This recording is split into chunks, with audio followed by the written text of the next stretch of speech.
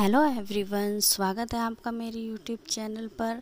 तो आज हम लेकर आए हैं Raksha Bandhan special Indian sweets kalakand, जो आप बहुत ही कम बजट में और कम समय में आप अपने भाइयों के लिए अच्छे से मिठाई बना सकते हैं और उनको इस रक्षाबंधन अपने हाथ की बनी हुई मिठाई खिला सकते हैं। तो चलिए स्टार्ट करते हैं। हमने यहाँ पर ले लिया है दो लीटर दूध, जिसको हमें एकदम मीडियम फ्लेम पर अच्छे से इतना पका लेना है। ताकि वो अच्छे से रबड़ी बन जाए। हमें उसे मीडियम फ्लेम पर ही पकाना है, तेज़ गैस पर नहीं करना। तो इससे हमारी रबड़ी एकदम बढ़िया बन के तैयार हो जाएगी। तो ये हमारा दूध अच्छे से आधा हो चुका है पकते पकते तो अब हम इसमें डाल रहे हैं छः से सात इलायची। इसे अच्छे से कूट के हम दूध में मिक्स कर देंगे। उससे जो हमारी स्वीट्स है, उसमें जो सुगंध आएगी, इलायची की तो बहुत ही अच्छी आएगी। तो ऊपर से हमने डाली है शुगर। शुगर आप अपने अकॉर्डिंग डाल सकते हैं कि जित, जितना मीठा रखना चाहे। यहाँ मैंने डाला है एक बाउल, छोटा बाउल, और इधर हमने ले लिया है। इतने हमें उसको पकते रहना छोड़ देना है। तो इधर हमने एक नारियल ले लिया है, उसको अच्छे से ग्रेट कर लिया है।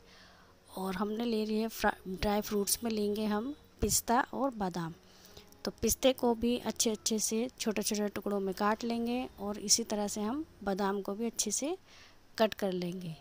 अगर वीडियो पसंद आए तो प्लीज़ वीडियो को लाइक करना ना भूलें और चैनल को सब्सक्राइब करो, ज़रूर करें। तो इस रक्षाबंधन, ये स्वीट्स आप झटपट एकदम बना के अपने भाइयों को अपने हाथों से खिला सकते हैं।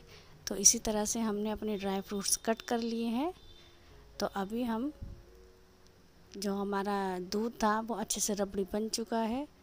तो हमने यहाँ पर इसमें सभी जो ड्राई फ्रूट्स थे, हमने अच्छे से मिक्स कर दिया और जो गोले का बरूदा था, वो भी हमने मिक्स कर दिया और उसको थोड़ा ठंडा होने देंगे। तो हमने एक प्लेट इधर ले ली है, जिसमें हम देसी घी से अच्छे से ग्रीस कर लेंगे, ताकि जब हम उसको मिठाई को निकालेंगे तो वो बड़ी आसानी से निकल जाएगी। तो अभी हम जो हमारा रबड़ी का पेस्ट है, इसको अच्छे से पूरे प्लेट पे फैला देंगे।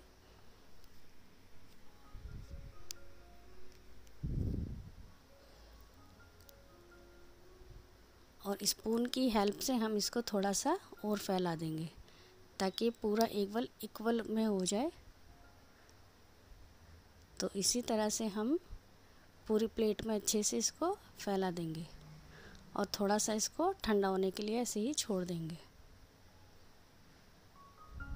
तो अभी हम ऊपर से डालेंगे इसमें ड्राई फ्रूट्स।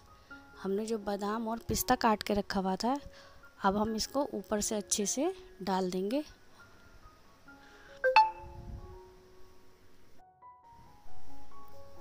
अच्छे से ड्राई फ्रूट्स को अच्छे से फैला के इसको हम इतना ढक देंगे ताकि वो अच्छे से दिखाई दे।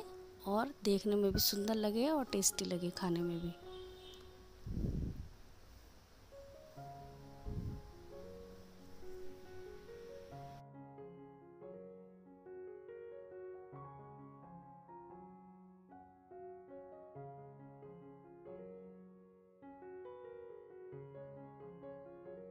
तो ये देखिए हमारी कलाकांद एकदम बन के तैयार है।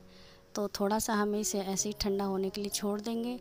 कितना बढ़िया और झटपट बन के तैयार हो गया इसी तरह से आप भी बना सकते हैं। तो इसको थोड़ा सा ठंडा होने देंगे और उसके बाद हम इसे